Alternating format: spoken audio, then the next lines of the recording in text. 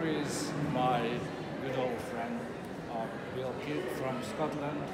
Um, one of the politicians I respect most in the world, and we have been working together to get rid of nuclear weapons and to realize. So, well, please.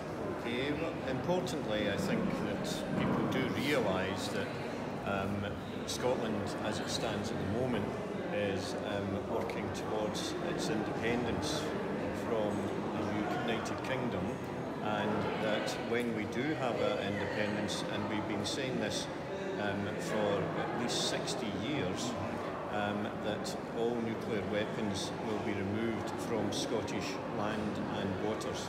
There's no argument about that. When independence is achieved in October 2023, um, on the people, and the people of Scotland will decide, and I believe that they will decide on independence. And when doing so, they are deciding that that independent Scotland will be a nuclear-free country.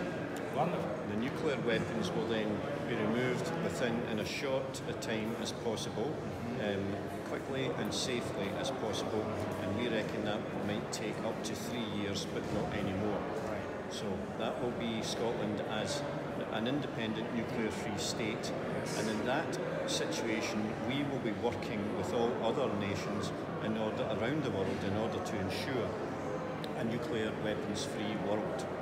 In doing that, I personally, although it's not for me to decide, it's for the Japanese people to decide, but I personally would like Japan to be at the forefront of this.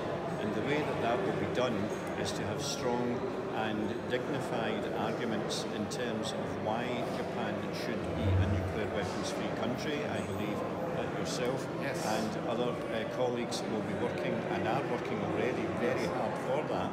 And I believe that Japan will join Scotland as being a nuclear weapons free state. Yes. Um, not only having no nuclear weapons in the country, but not supporting nuclear weapons in any other land either. Exactly.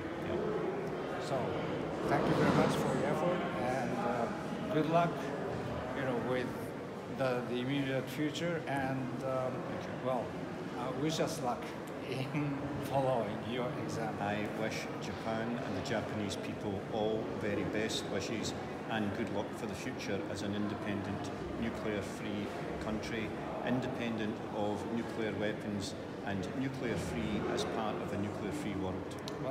Thank you very much. Thank you. work. Thank you.